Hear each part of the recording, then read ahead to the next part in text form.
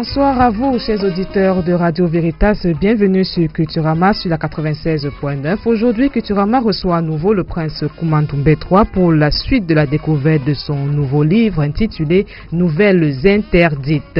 Derrière ce microphone de présentation, je suis Dominique Koumé. À la partie technique, Guy Hervé Mba. Nous allons donc prendre une respiration musicale avant de retrouver notre invité.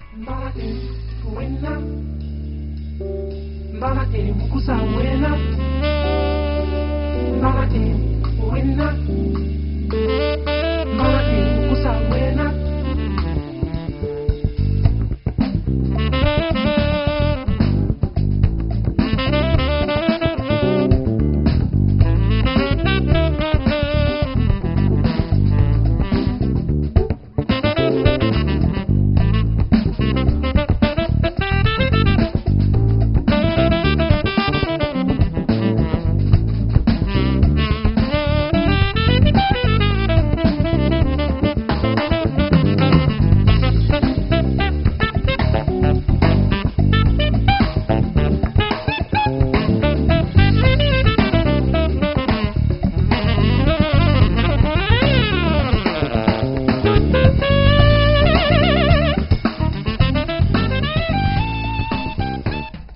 Vous êtes sur Culturama. Culturama vous propose aujourd'hui de découvrir Nouvelles interdites, une nouvelle parution de notre écrivain, le prince Koumandoum 23. Prince Koumandoum 23, bonsoir. Bonsoir, Domi.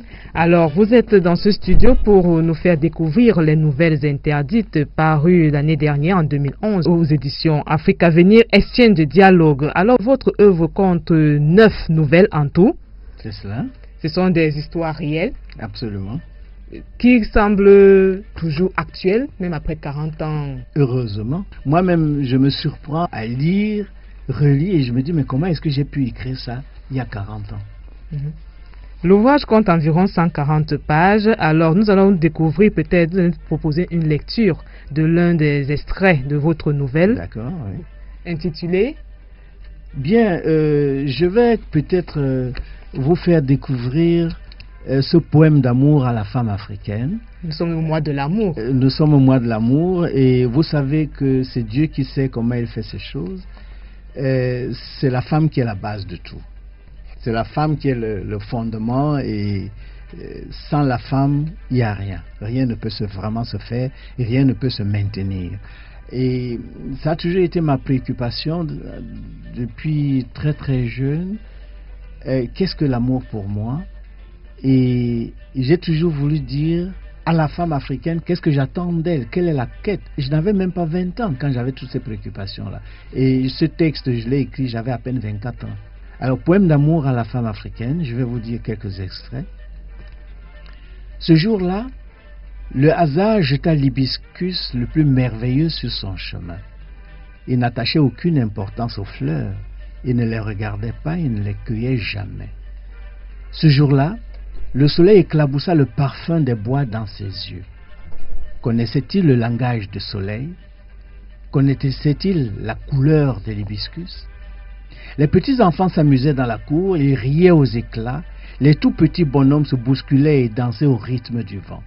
Un enfant courait rejoindre sa mère, il avait du sable plein les yeux. Il se dirigea vers le fond de la cour à droite et se précipita dans la petite cuisine en raffia d'où sortait une fumée étouffante. Il fut renvoyé aussitôt. Il apprit qu'un enfant devait avoir honte de courir vers sa mère parce qu'il avait reçu du sable dans les yeux. Pourquoi ne pas se débrouiller tout seul comme tout autre enfant dans la cour? Le petit s'en remit bientôt et retrouva ses copains qui jouaient à cache-cache derrière les hibiscus. Mbedi se souvint toujours de cette image-là. Il était descendu de sa bicyclette et voulait renvoyer une balle sortie de la haie à ses petits joueurs. Mais pourquoi n'oublia-t-il jamais l'image de la cour des Indalais ce jour-là? Mehdi avait plusieurs frères et sœurs, mais il était l'un des plus jeunes de la famille et s'attachait beaucoup à son grand-père paternel. Quand il avait omis un devoir quelconque, il s'enfuyait toujours chez son grand-père Kala, et ses parents savaient toujours où aller le chercher. Il savait l'autorité de ce vieux assez puissante pour que ses parents ne puissent oser le punir, lui qui était toujours sous sa protection. À l'école primaire, après avoir reçu une mauvaise note, Mbedi ne rentrait même pas chez ses parents. Hein. Il courait directement chez le vieux Kala et y passait la nuit.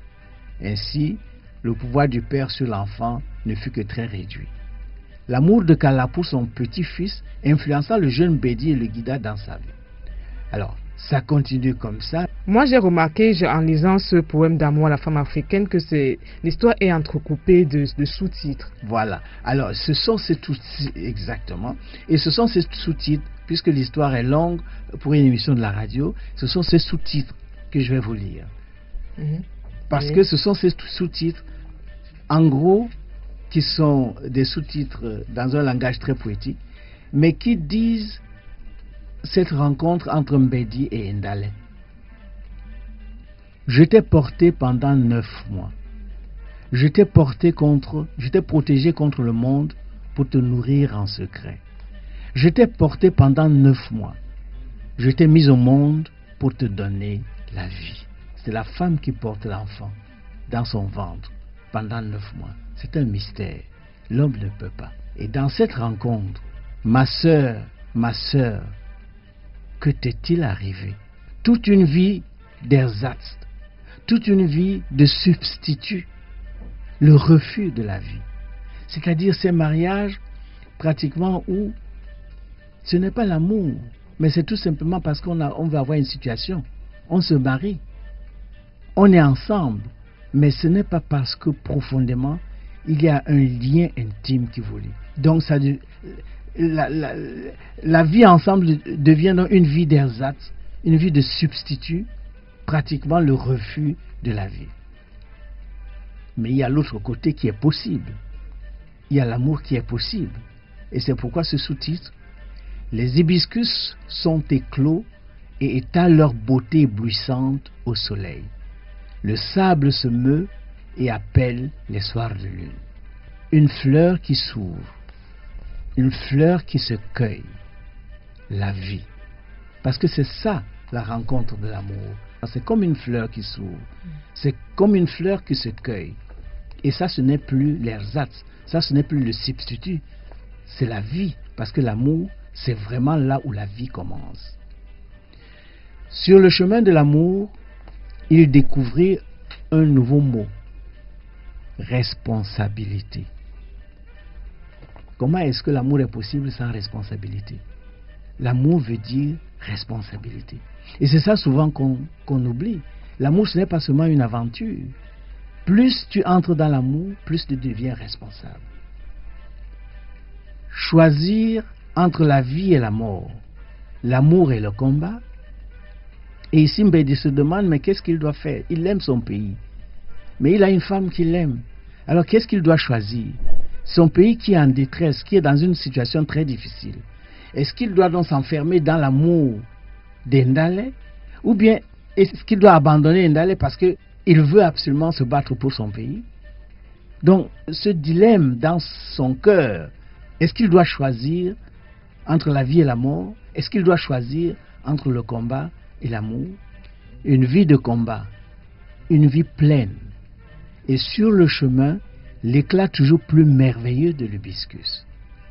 C'est-à-dire, il choisit, il se dit, non, je vais me battre pour mon pays, mais je ne peux pas abandonner mon amour et j'essaie de voir comment est-ce que je peux intégrer les deux dans ma vie.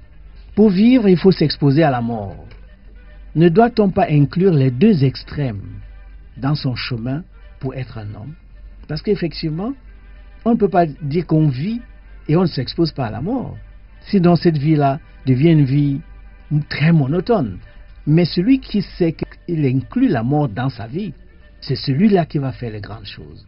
Et c'est la même chose dans la rencontre amoureuse. Et ce texte se termine donc par ces quelques lignes, parce qu'il a choisi les deux, et Ndale, elle aussi, euh, qui à un moment est obligée d'être très loin de son Bédi qu'il adore, elle aussi, elle organise les femmes, elle organise les gens dans le quartier parce qu'il faut absolument faire à ce que le pays avance et on ne peut pas seulement rester euh, dans son égoïsme, dire que c'est moi je veux faire ceci pour moi, il faut que tu fasses pour ton pays et en faisant pour ton pays, tu donnes le meilleur de toi-même à ton homme ou à ta femme. Alors il se termine donc comme ça ce texte. Combien de nuits étoilées faudra-t-il compter? Combien de couchers de soleil faudra-t-il contempler Combien de tornades, combien d'éclairs pour revoir l'éclat de l'hibiscus Un champ immense de boutons rouges apparaissait, à l'horizon, un champ immense d'hibiscus qui s'apprêtait à éclore, un champ immense qui incitait à la vie. Voilà donc euh, le poème d'amour à la femme africaine. Oui, vous avez parlé, dans ce poème, vous parlez de femmes d'Ersatz. Les femmes d'Ersatz, c'est quoi? Mais l'ersatz, c'est bon, euh, et ersatz, c'est le substitut, c'est-à-dire que ce n'est pas la vraie chose, c'est bon, ce qui peut remplacer, que vous pouvez encore remplacer à un autre moment. Donc, on prend cette femme aujourd'hui, on prend une autre demain, on prend une autre après-demain, ce sont les femmes d'ersatz. C'est pas la vraie femme. La vraie femme, c'est celle qui reste dans ton cœur pour l'éternité. Mhm. Et cet amour, euh, parce que Dieu est éternel. Comme Dieu a créé l'amour, l'amour aussi est quelque chose d'éternel. Mais nous vivons d'ersatz, nous vivons de substituts. Aujourd'hui, celui-ci, demain l'autre, euh, celui-là. Aujourd'hui, celle-ci. euh, alors, donc, ces échecs permanents qui sont des survies nous empêchent de vivre. Or, la vraie quête, c'est la quête de la vie, et la vraie quête, c'est la quête de l'amour. Euh, Une autre nouvelle qui parle de l'amour, l'aventure de la jeune Kala. Ah oui. L'aventure Ah de la oui. jeune Kala qui, Ah oui. qui pour reconquérir l'amour de, de- Ah oui. son époux, est allée voir un marabout, mais à la fin, elle est devenue folle. Voilà. C'est voilà. une histoire vraie, ça? Ah oui, oui, oui. Ah ben ça, euh, l'aventure de la jeune Kala, je n'ai pas inventé. L'aventure de la jeune Kala, de quoi s'agit-il? Bon, je ne vais pas lire tout parce que c'est c'est un peu long, mais euh, voilà une femme euh, qui vivait donc euh, l'amour dans sa maison avec son homme, etc. Et à un moment, elle s'aperçoit que mais, le mari rentre de plus en plus tard. Euh, à un moment même, il ne rentre pas du tout. Il vient seulement pour changer les vêtements à la maison et, et aller au bureau. Alors ça l'inquiète et elle ne sait pas comment reconquérir son mari. Et les autres lui disent, mais toi, toi-même, toi, tu es, tu, même comment? Tu restes seulement là, tu vois ton mari partir, mais il y a des malams. hein, il y a des malams qui peuvent t'aider. hein, donc, il faut aller les voir. Donc, un jour, donc, elle va à Besseke. Besseke, c'est un quartier de, de Bonaveri. Elle traverse donc le pont là-bas. Elle va à Besseke et elle voit donc un malam. Le malam, quand elle dit, ne me dis rien, moi je sais pourquoi tu es venu. Tu, n'as pas à me dire, parce que toi tu ne, tu ne vois pas les choses. Moi, tu es venu parce que ton mari euh, te délaisse et puis euh, il va déjà chez une autre femme et toi tu veux euh, gérer les affaires de ton mari, tu veux gérer ta maison, etc. Donc j'ai compris ton problème. Mais est-ce que toi-même qui es venu me voir là, tu pourras supporter tout le traitement? Elle lui dit, mais dis-moi seulement combien ça coûte, il n'y a pas de problème. Je vais essayer de voir ce que je peux faire. Donc, le madame lui dit, bon, voilà d'abord ce que tu vas faire. Je te donne euh, ceci, bon, et tu me, tu me donnes d'abord un peu d'argent. Et puis tu reviendras, tu me diras s'il y a des choses sont en train de changer ou pas. Effectivement, la femme part donc et à un moment elle voit que mais comment le mari là qui dormait dehors ne dort plus dehors hein, et les choses commencent vraiment à s'améliorer. La deuxième fois, elle lui dit encore non vraiment les choses vont très bien. Et le madame lui dit mais toi tu me dis seulement les choses qui ne sont pas importantes. Depuis que tu viens ici, toi, tu sais que tu ne règles plus, non? Que tu ne vois plus tes règles. Tu me dis seulement que... Mais elle lui dit, madame, comment tu sais ça? Il dit que, mais la première fois quand tu es venu ici, est-ce que tu m'as dit pourquoi tu es, venu? C'est moi qui t'ai dit pourquoi tu es venu. Et le madame lui dit, tu sais, depuis que tu es venu ici, tu m'as plu. Et comme tu m'as plu, euh, nous faisons l'amour, mais après tu ne te rappelles pas. Et puisque c'est à minuit qu'on le fait, tu ne te rappelles pas. Elle dit, mais de qu'est-ce que, de quoi tu parles? Qu'est-ce que tu dis là? Je te dis les choses que tu ne sais pas. Il dit maintenant, pour que ton... Comme je t'ai dit ça maintenant, on ne pourra plus faire autrement. Si on fait l'amour, tu ne vas plus oublier. Et la femme lui dit que non, moi je ne suis pas dans ce créneau-là. Il dit, bon, moi je ne peux pas te dire plus, je ne peux pas t'aider. C'est comme ça. Bon, finalement, la femme ne sait plus quoi faire et elle dit bon, je te paye ton dernier, les sous dernière que- tranche de la traitement. dernière tranche et donne-moi ce que moi je dois euh, aussi, bon, donne-moi le de- dernier traitement quoi. Madame lui dit bon, voilà la poudre que je te donne, cette poudre là, tu mets ça dans le bain de ton mari. Quand il va rentrer du travail, comme l'habitude, etc., bon, qu'il se lave. Et donc, c'est ce que Kala fait. Mais, ce qu'il y a, c'est que Kala devait revenir vers Le malam. oui, pour qu'il fasse l'amour ouvertement, etc., que personne n'oublie plus. Mais elle décide de ne pas rentrer chez le malam, mais d'utiliser quand même la poudre. Alors quand le mari rentre donc à midi, très bien, et avant de manger, donc euh, il va prendre un bain, il va donc prendre un bain derrière. Mais les enfants disent, mais où est papa? Nous on veut rentrer à l'école, il faut qu'on mange. Le papa ne rentre pas de la salle de bain. Jusqu'à ce que la maman envoie donc l'enfant que va dire à ton père que même le repas là est déjà froid. L'enfant va donc derrière, il rentre en criant complètement euh, fou. La maman dit, mais qu'est-ce qui... Elle, attrape son enfant, il dit, mais qu'est-ce qui t'arrive Qu'est-ce qui t'arrive. Et elle-même, elle va donc derrière, euh, là où est donc... euh, où se lavait donc le- le mari, et elle trouve que c'est un bois qui a la tête de son mari qu'elle trouve là. Elle-même, elle tombe donc complètement évanouie et ses règles viennent. C'est une histoire qui s'est passée ici. Alors, il a fallu appeler les sapeurs-pompiers. Les sapeurs-pompiers de Douala, donc, qui ont pris ce, ce- cet homme bois pour l'amener ici à la caserne des sapeurs-pompiers, derrière l'hôpital à Quintini. Voilà, donc, que ce qu'il y a dans ce livre, c'est que il révèle quand même ce qui s'est passé dans ce pays et que ceux qui ont 50 ans n'ont jamais entendu, ce dont ils n'ont jamais entendu parler. C'est-à-dire, ils ne savent pas ce qui s'est passé. Donc voilà, et, je voudrais vous. Voilà, ça c'est par exemple donc cette, histoire-là. Mais c'est pas une histoire que moi j'ai inventée. hein. J'ai mis ça en littérature. Mais tel que je parle là, vous avez des gens qui sont en train de m'écouter et qui savent que ça s'est passé ici à Douala. Ceux qui ont 50 ans et plus. Ah oui Oui, oui, oui. Si vous le permettez, professeur, nous allons prendre une courte pause musicale avant de revenir à vous.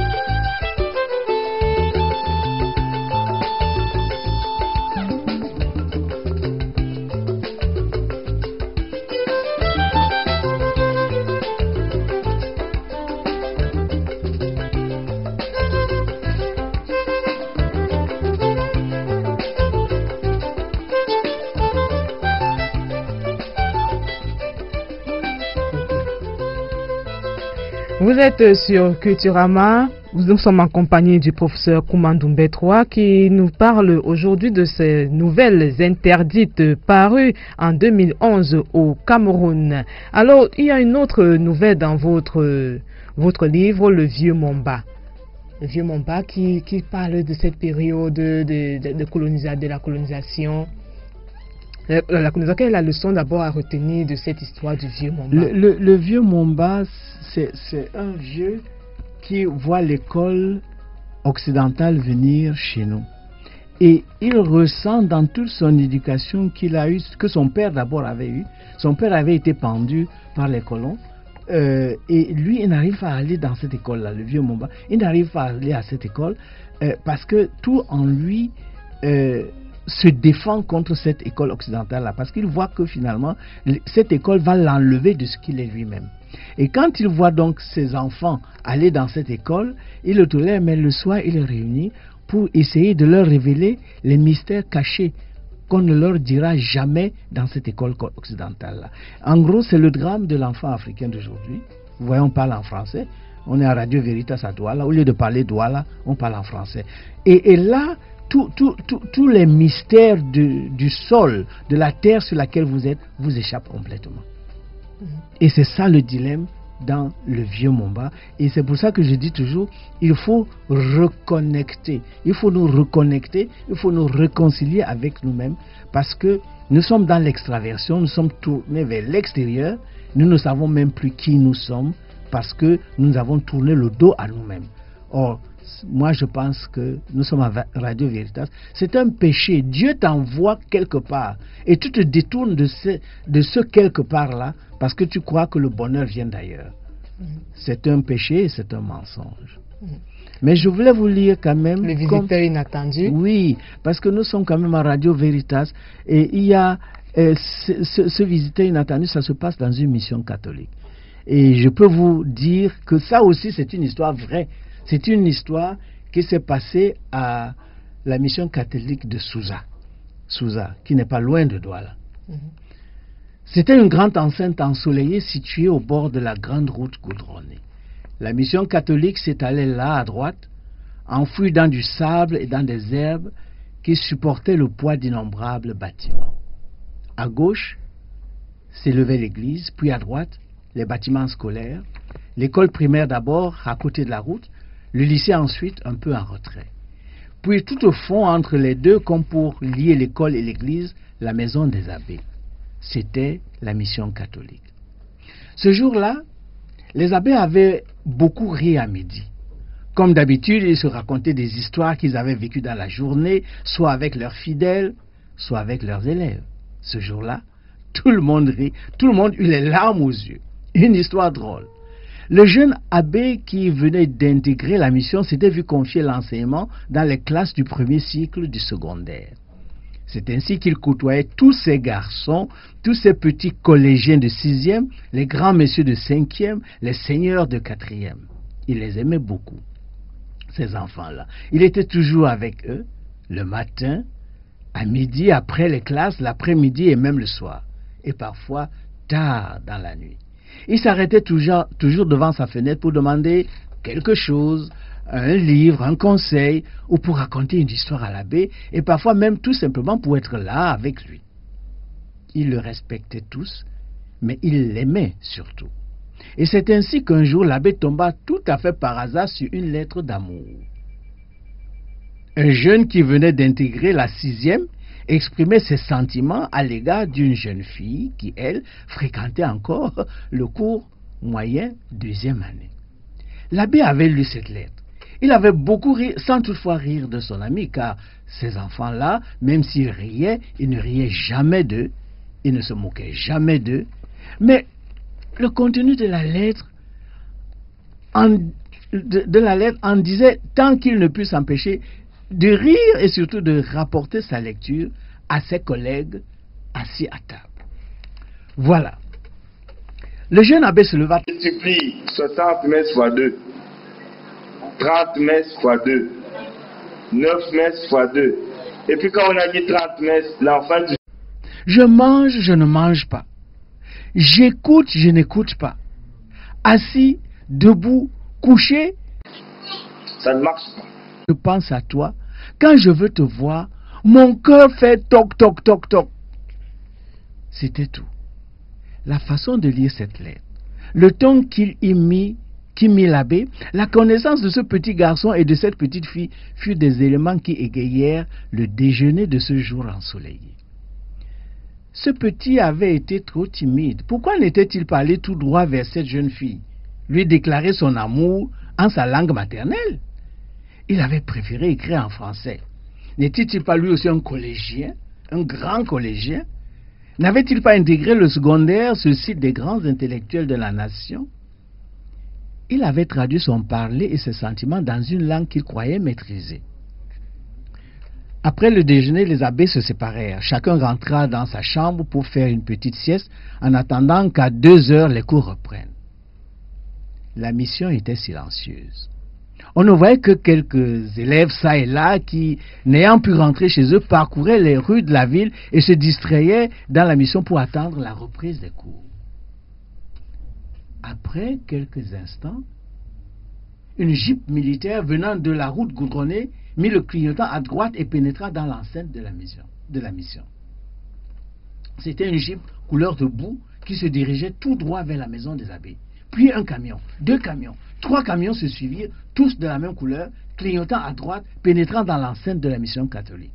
En quelques secondes, plusieurs dizaines de soldats descendirent, encerclèrent la mission et dispersèrent les élèves et autres curieux accourus sur les lieux. Le commandant sortit de sa jeep et se dirigea tout droit vers la mission. Il frappa à la porte une fois. Pas de réponse. Deux fois. Pas de réponse. Puis il cria C'est l'armée L'armée? Que s'était-il passé? L'armée dans l'enceinte de la mission En plein jour Le supérieur hésita, mais il devait ouvrir. À peine eut-il ouvert la porte que le commandant se précipita dans la grande salle. Oh les mains cria-t-il. L'abbé ne comprenait rien du tout. Que s'était-il passé? Y avait-il des troubles dans le quartier? Était-il mis en cause? Avait-il été dénoncé pour une raison quelconque? Il n'y comprenait rien. Le commandant cria de nouveau Vous avez des livres interdits par la censure. Vous avez ces livres ici chez vous. Il faut absolument que je les voie. Des livres? Des livres interdits? Lui qui avait toujours respecté la loi? Mais que se passait-il donc? Et tous ces livres-là, il y en a un que je cherche particulièrement. Sorti il y a trois mois, ce livre, il diffame notre patrie. Ce livre-là, vous l'avez, monsieur l'abbé. Et il faut qu'il sorte immédiatement. Et puis, je dois vous amener. Je dois vous embarquer. Une dizaine de militaires avaient eux aussi envahi la salle et braqué l'arme contre ce pauvre prêtre qui ne savait plus où mettre la tête. Mais je n'ai pas de livre. Vous racontez des histoires. Vous savez qu'ici, nous avons des livres religieux, des livres scolaires. Et puis c'est tout. Nous n'en avons pas d'autres. La discussion s'échauffa. Les autres abbés avaient déjà été conduits dans les camions par les militaires. Après une forte période de tension, le commandant donna l'ordre à ses subordonnés de se retirer. Puis, il commença à discuter en tête à tête avec le supérieur. Vous savez, lui dit-il, je ne suis pas venu vous arrêter. Mais j'ai une soif de savoir. Comme vous et sûrement comme beaucoup d'entre nous, je ne peux pas me procurer ces livres. Vous savez combien c'est difficile. Soyez ma bibliothèque, je vous prie, ne serait-ce que pendant une semaine, ne serait-ce que pendant trois jours. J'aurai fini ma lecture et je vous rendrai votre document. Il ne vous arrivera rien. Pour s'informer sur notre pays, il faut s'exiler. Vous avez de la chance, vous, d'être un homme de lettres.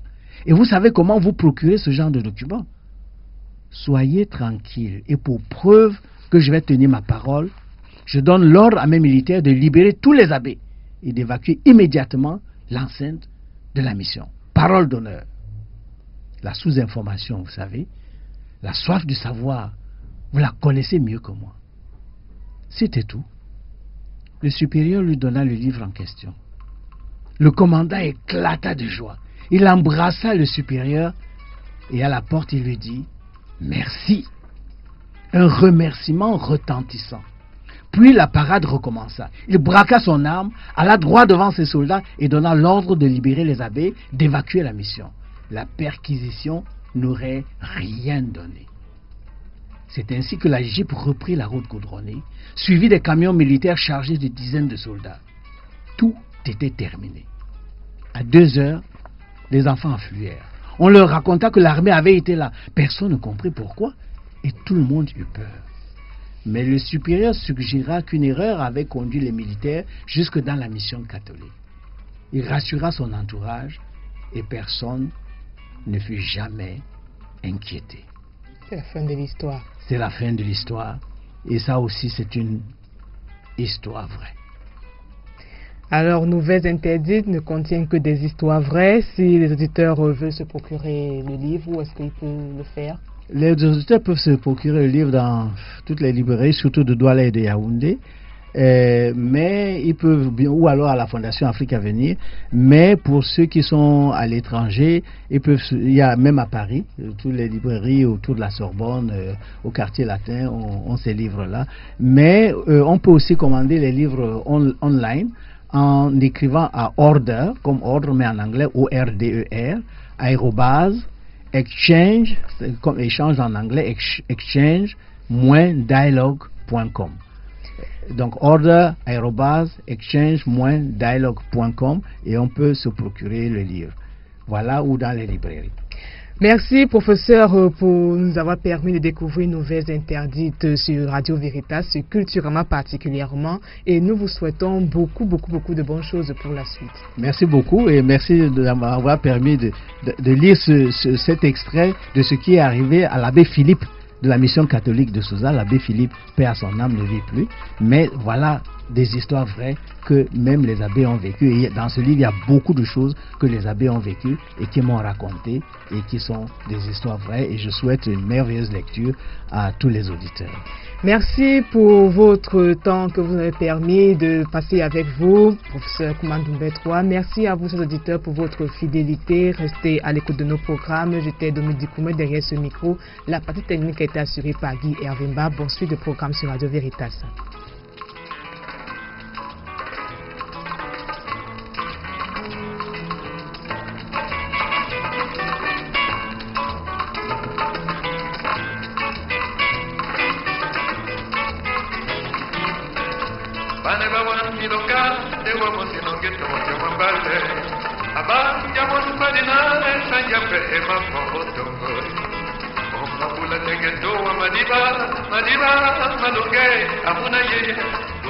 بنانے والا ہے